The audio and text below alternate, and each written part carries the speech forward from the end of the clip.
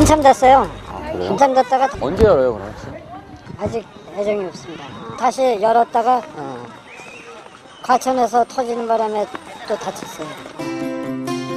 일이 터졌다는 과천에 위치한 것은 서울 대공원입니다. 1984년 동양 최대 규모로 개원한 서울대공원. 30년 동안 이곳을 찾는 사람들의 발길은 끊이지 않고 있는데요. 작년 이맘때 역시 관람객으로 북적거렸던 동물원.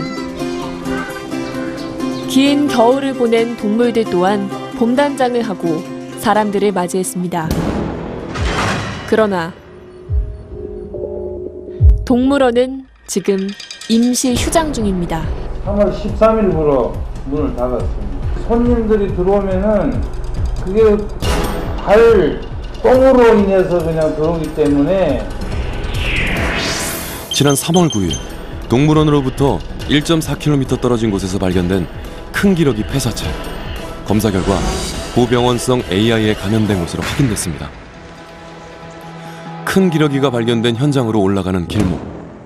경비원이 등산로 출입을 막아섭니다. 이 산에서 AI가 발생했다고 이 산에서 그래서 포기하라 새끼 다 먹었죠 기러기가 죽었는데 아 기록이 죽었다고요? 네, 그게 A, AI 양성이 다 판정돼가지고 그래서 이쪽으로 또 접근 못하고 문 닫은 AI 확산 차단을 위해 서울 동물원을 임시로 휴장합니다. 동물원의 천연기념물 등 희귀 조류를 보호하기 위한 조치이오니 관람객의 너그러운 양해를 부탁드리며 동물원으로 들어가는 모든 길이 막힌 상황. 철저한 출입 통제에는 그만한 이유가 있다고 합니다.